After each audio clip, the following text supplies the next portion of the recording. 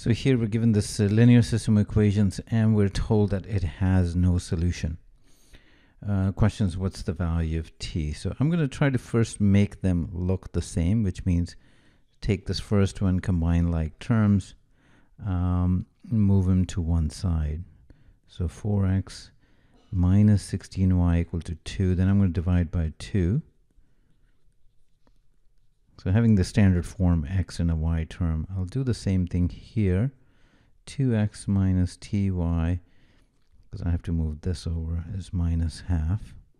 So I'm going to compare these two. 2x minus ty is minus half. So if these two expressions are identical, and if these are different, then there will be no solution. So if t is 8, then this system will have no solution because you have the same expression equal to two different numbers.